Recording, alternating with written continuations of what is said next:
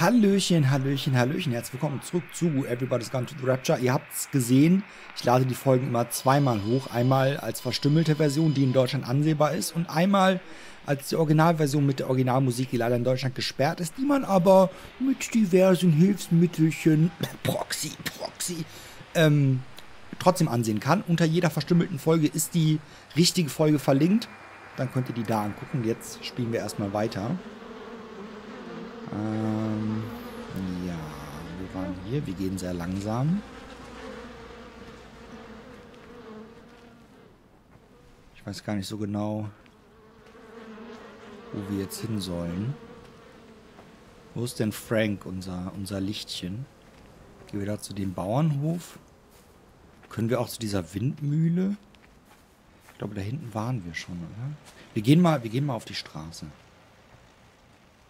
Geh mal auf die Straße. Da ist noch so ein. Hier sind überall diese verfallenen Lagerhäuser oder wie auch immer man das nennen will, diese Unterstände. Gerade ein bisschen lauter machen. Wenn man hier überhaupt irgendwas hört, außer mir gerade. Scheint keine Musik zu sein.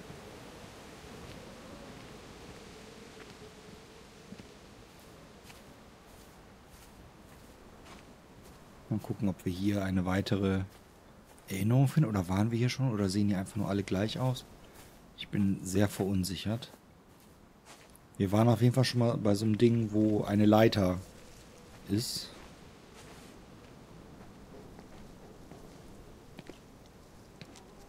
Wir gehen auch wieder sehr langsam in diesen Gebäuden. Gehen wir irgendwie total langsam. Warum höre ich eigentlich nichts?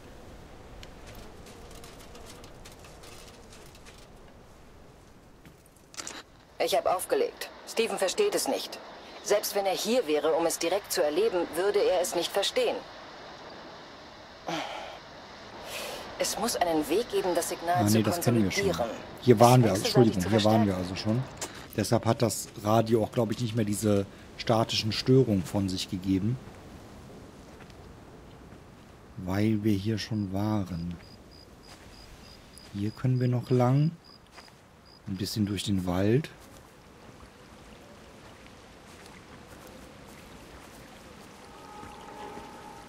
Sieht einfach so schön aus.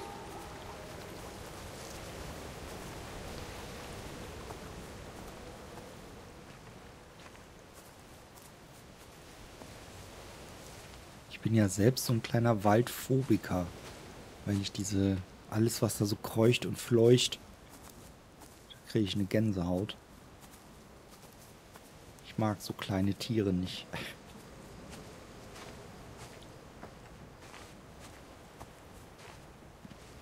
Hier ist wieder was umzäunt, aber hier ist noch so ein Steinhaus. Ich hoffe, da waren wir nicht auch schon, dass wir jetzt hier erstmal fünf Minuten irgendwo langlaufen, wo wir schon waren.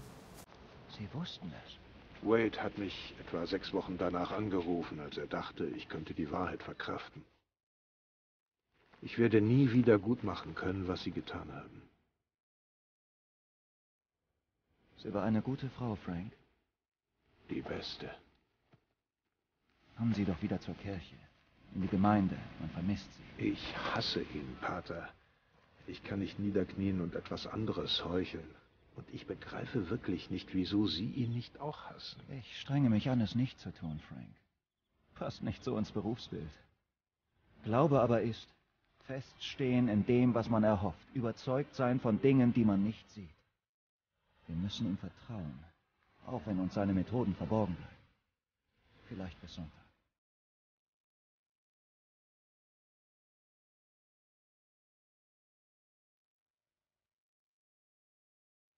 Hier ein kleiner Blumenstrauß.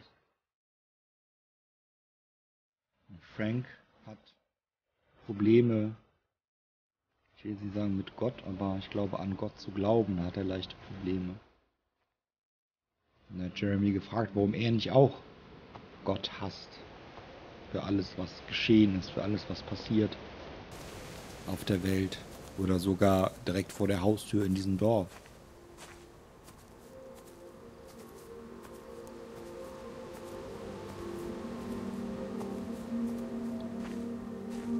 Es gibt hier so viele Wege, wo man lang kann. Das ist echt... Ich habe das Gefühl, so viel zu verpassen. Hier sind schon wieder Anomalien, also diese kleinen Dinger, die uns, glaube ich, gleich zu einer Anomalie führen. Den gehen wir auch gleich nach. Ich schaue nochmal gerade hier, aber bei dem Auto ist nichts.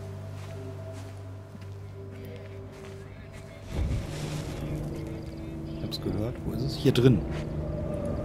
Kann die Tür aufmachen?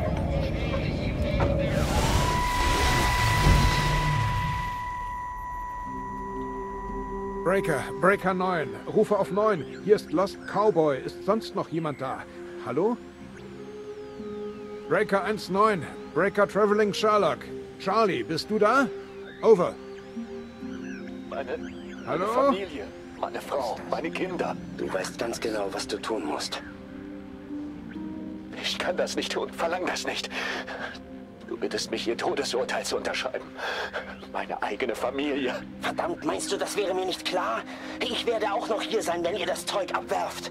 Nein. Erzähl du Nein. nichts von Opfern, du rückhaltloser kleiner Arsch. dämlichen Wenn du Mistkerle. so viele Ideen hast, komm doch her und erledige du das. Sag ihnen, die Zeit, in der wir die Wahl hatten, ist um.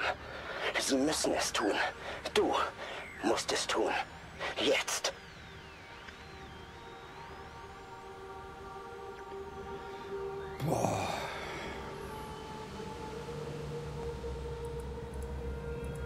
Mit dem Funkgerät können wir leider nicht interagieren. Du musst es tun, jetzt. Das klingt überhaupt nicht gut. Es wird gespeichert, das ist sehr schön, da komme ich leider nicht rein.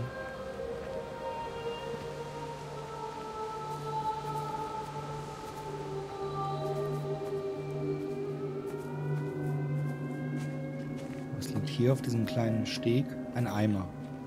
Ein umgedrehter Eimer. Hier ist eine Map. Gehen wir hier irgendwo hin? Ist alles eingezäunt.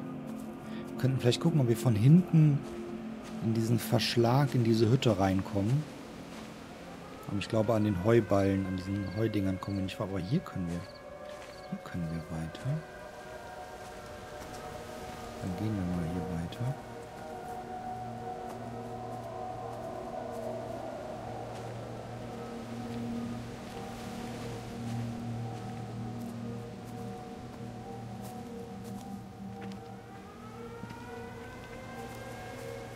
Diesem Weg. Ich habe unser Guiding Light schon lange nicht mehr gesehen.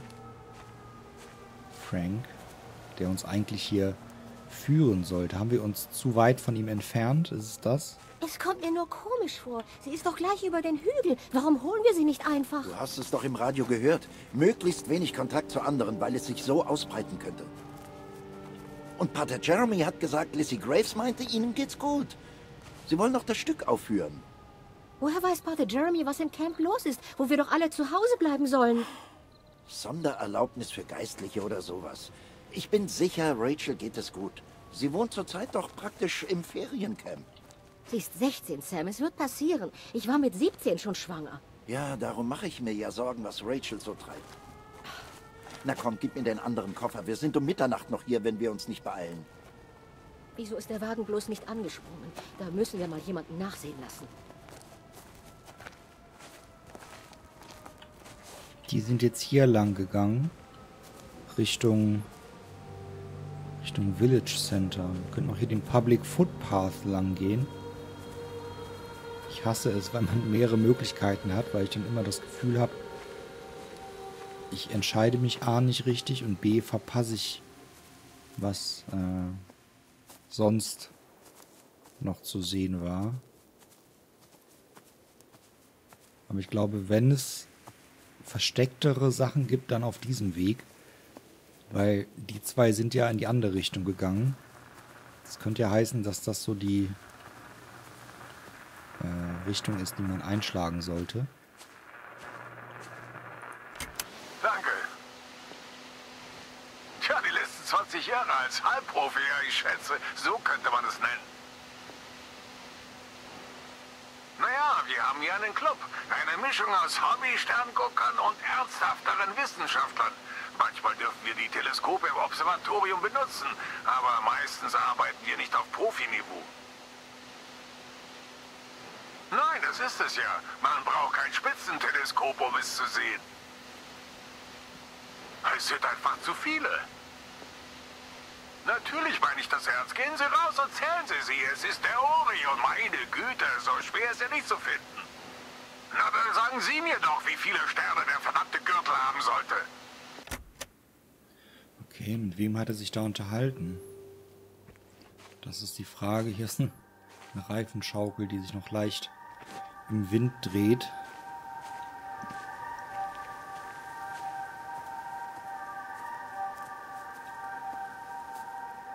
Und schon wieder gibt es Abzweigungen. Ich nehme mal diese hier. Hier sehe ich ein Haus. Ich hoffe nicht, dass ich jetzt im Kreis gegangen bin.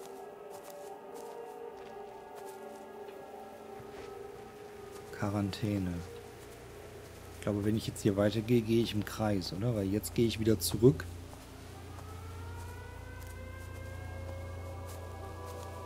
Obwohl, hier kann ich rein.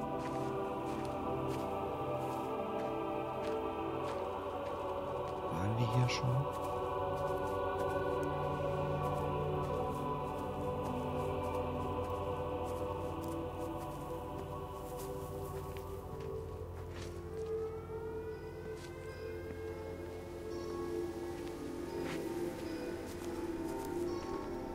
Wieder die weißen Laken an der Wäscheleine. Ein Buch. Wishing Machine. Kleiner Verschlag. Kommen wir hier rein? Nein. Das kommt mir bekannt vor. Ich glaube, hier war, aber das schon eine Weile her, dass wir hier waren, oder? Hier oben waren diese Bilder von diesen... Genau. Huch. Da sind wir jetzt aber weit zurück. Aber was heißt zurück? Ach, da liegt ein Frisbee und ein Bumerang auf dem Dach. Okay, hier waren wir auf jeden Fall schon. Daran erinnere ich mich. Dann sind wir also tatsächlich ein wenig im Kreis gelaufen. Das tut mir sehr leid. Aber das kann passieren in so einem doch relativ offenen Spiel. Waren wir auch hier schon? Ich glaube schon. Ich erinnere mich an diese Picknickdecke. Dann gehen wir jetzt gleich wieder zurück. Und mal gucken, ob hier irgendwas zu triggern ist. Nein. The Voice of the Stars. Die Stimme der Sterne.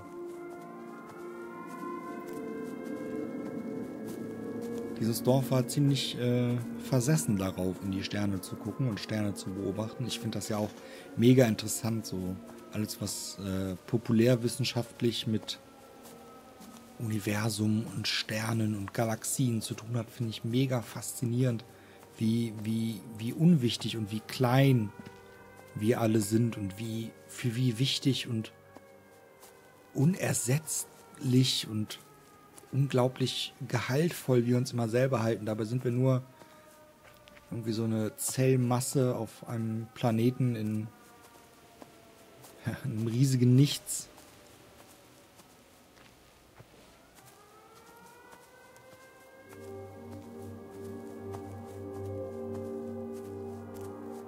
Die Frage, waren wir hier auch schon? Hier sind wir wieder auf der Straße. Ich glaube, hier waren wir schon. Wir müssen dann da hinten, glaube ich, doch nicht den Public Footpath nehmen, sondern ähm, da, wo die eine Erinnerung lang geführt hat. Das heißt, wir sind jetzt ein bisschen umsonst hier lang gelaufen.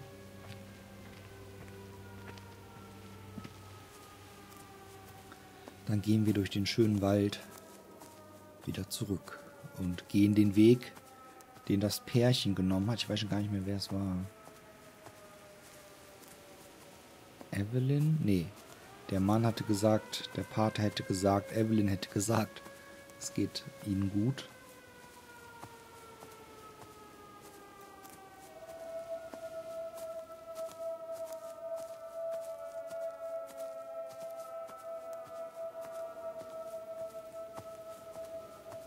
Vielleicht wurde der Planet, also die Erde, von irgendeiner außerirdischen Zivilisation gerettet vor den Menschen.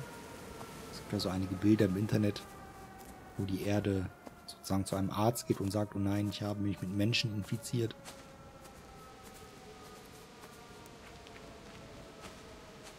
Diese Krankheit wird bei der Erde wahrscheinlich tödlich enden. Also es gibt keine Heilung.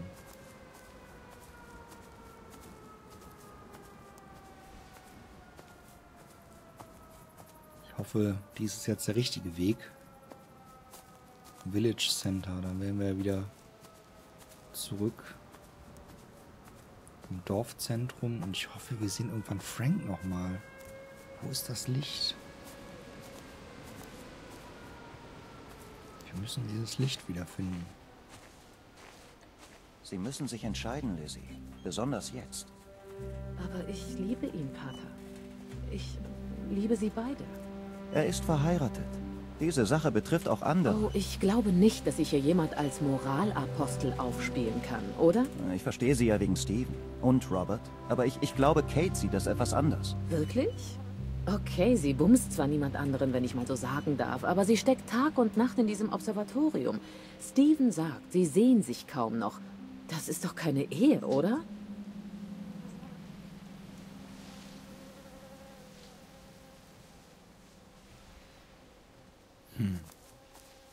Das ist doch keine Ehe.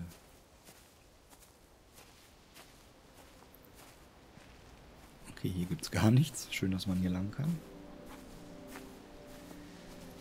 Lizzie und Jeremy. Da hinten, ich hoffe, ich weiß nicht, ob das, ja doch, das glaube ich, das ist ein Grafikfehler. Ich dachte, das wäre vielleicht mal wieder unser Lichtchen. Was uns mal wieder sagt, wo wir hingehen sollen. Also ganz ohne Führung werde ich mich hier, glaube ich, mehr als verlaufen.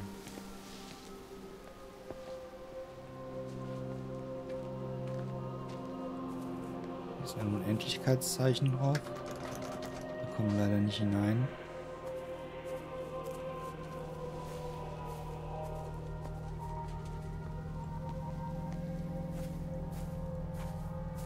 Wo ist Frank? Hat Frank uns verlassen? Haben wir uns so weit von ihm entfernt, dass, dass wir ihn nie wieder sehen? Ich schaue mich immer um.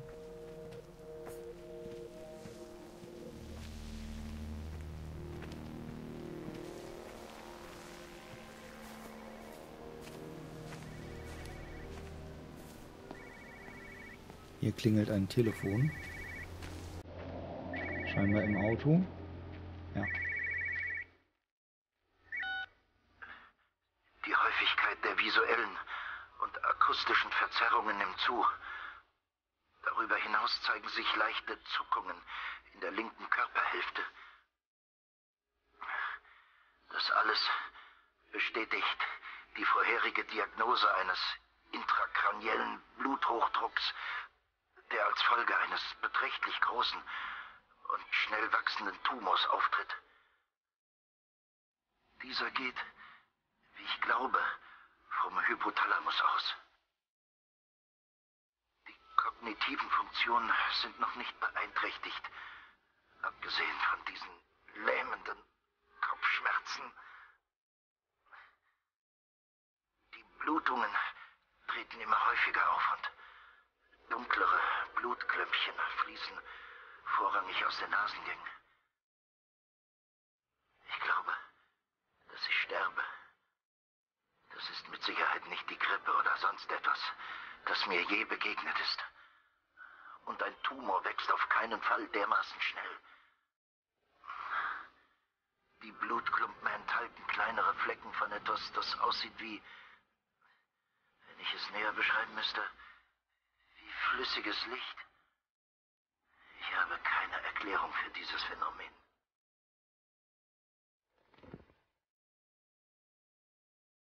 Der Doktor ist überfragt. Die Musik wird schön.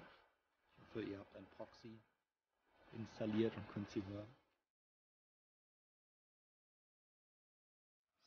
Schnell wachsender Tumor.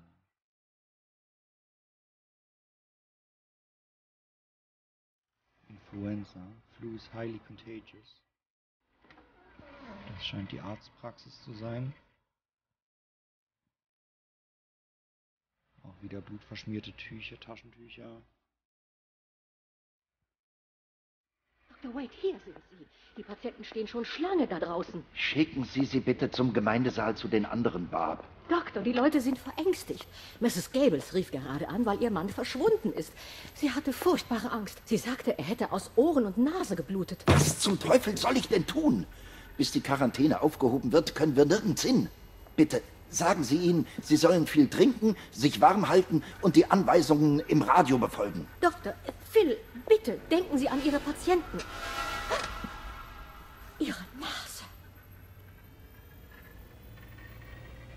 Ihre Nase. Er hat auch hier den ganzen Computer schon voll geblutet. One, six, one, four, one, five, one, seven, Two, five. two, five. Den haben wir schon, okay.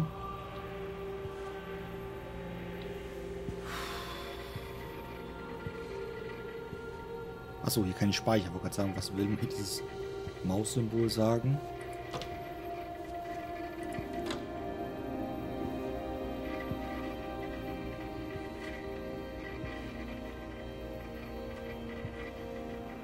Das würde ich ja gern mir irgendwie mal genauer angucken oder benutzen oder, oder irgendwas.